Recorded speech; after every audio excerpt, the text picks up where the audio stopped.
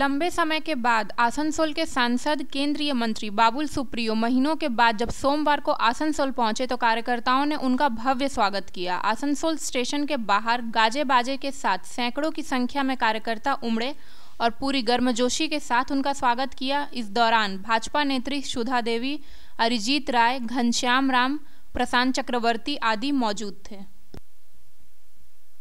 Sir, ये social distance का जिस तोड़ा गया? क्या ये सही है सर प्रधानमंत्री का कहना था कि सोशल डिस्टेंस को जोड़ना ये मैं एक रिस्पॉन्सिबल नेता हूँ यही होने वाला था और यही सबको ये चाहिए कि एक दूसरे को इसके लिए प्यार बांटे और यही होता ये जितेंद्र तिवारी साहब को पता नहीं होगा यही होता जब मैं आता इसीलिए मैं আসানসোল नहीं आया দেখুন আমি অনেকদিন ধরেই বলছি আমরা সবাই বলছি আমরা বহুবার রাষ্ট্রপতির কাছে বলছি রাষ্ট্রপতি শাসন জারি না করলে পশ্চিমবঙ্গে এই গুন্ডামি তৃণমূল কংগ্রেসের থামানো যাবে না।